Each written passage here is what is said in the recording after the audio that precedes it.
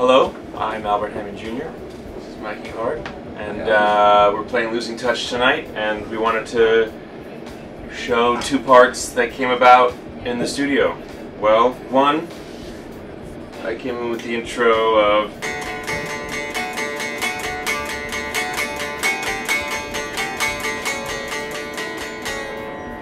Don't know how that happened really.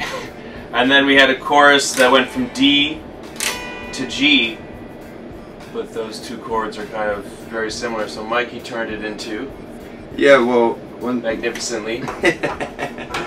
Uh, Don't be shy what now. we do sometimes is take take a simple chord progression and then move some of the notes around to make it something more excited, exciting, but still sort of sounds like familiar or something you can understand. So if you instead of going like this, which is very, well, we, we change it to this, and then the bass figures it into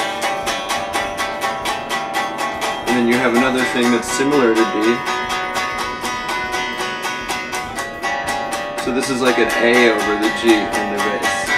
And then this time the bass plays this note, so you get this sound. I think everyone's following this. Please, I want. I, At home, follow me now. Play with me. Faster. It's, a basic thing that we've done. I feel like a lot of people do, but it's like you definitely maybe the when the song's in the raw or stage, it might be like two chords or three chords, and then you try to either have riffs that separate it, or have the guitar and the bass separate, or have the guitar actually change its own bass notes and separate it. It's like the, the melody comes from this thing that's very familiar that a lot of people understand and that resonates with you, and then you can kind of flesh it out with the chords after the melody. Bam, baby! You're doing good. Take that, Jimmy.